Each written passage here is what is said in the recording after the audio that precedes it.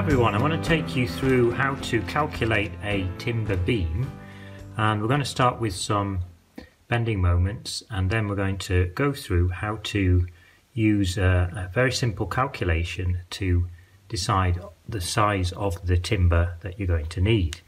So we're going to start with a beam and we're going to assume it's timber and it's supported at both ends so it's a simply supported beam and the bending moments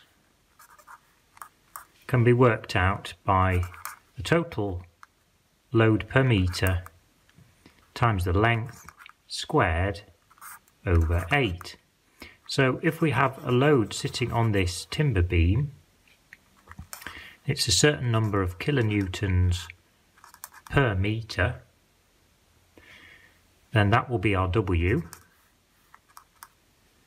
Our length will be the length of the beam between the supports and as you can see that's the only two details we need to get the bending moments. So let's say that there are 2 kilonewtons per metre and that the length is 2 metres.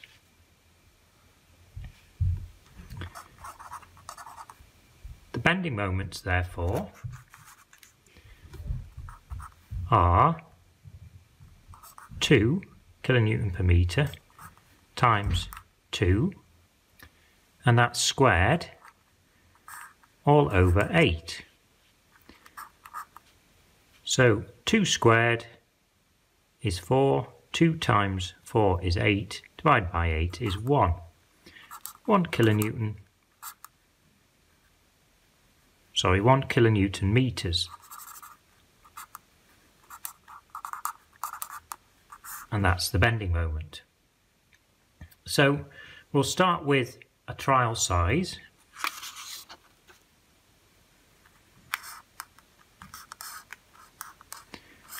We might have a stock size of 50 millimeters.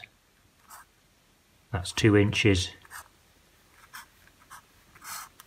by 200 millimeters which is 8 inches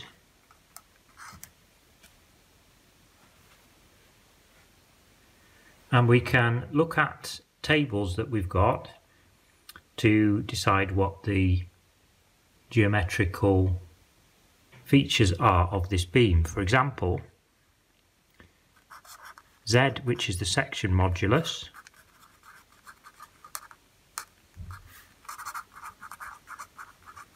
And we use that in a bending calculation and I, which is the second moment of area,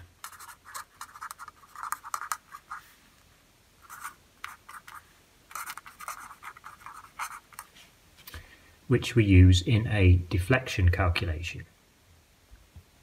Now for this video we're just going to be looking at this one here, which is the section modulus, because we're going to work out the strength of the beam and we're going to leave deflection for another time.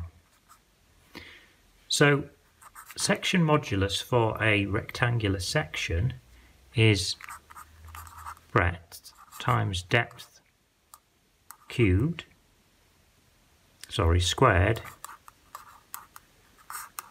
over 6. And if we want to find out the moment capacity for a beam, it's the allowable stress times the section modulus. So that's the formula we come to.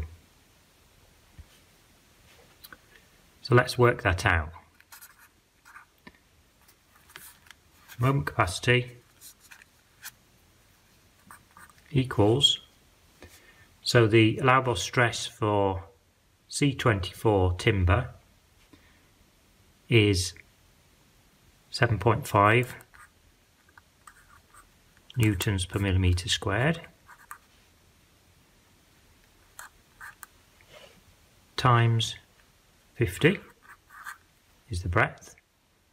Times 200 is the depth. Squared all divided by 6. 7.5 times 50 times 200 squared divided by 6 equals. And if you can see that, that's 2.5 million now, 1 kilonewton metre is equal to newton millimetres times 10 to the 6. So it's a million times more. So the answer is 2.5 kilonewton meters. And that strength is greater than the 1 kilonewton meter of load that we applied on it, of moment that we applied on the beam. So that beam is okay.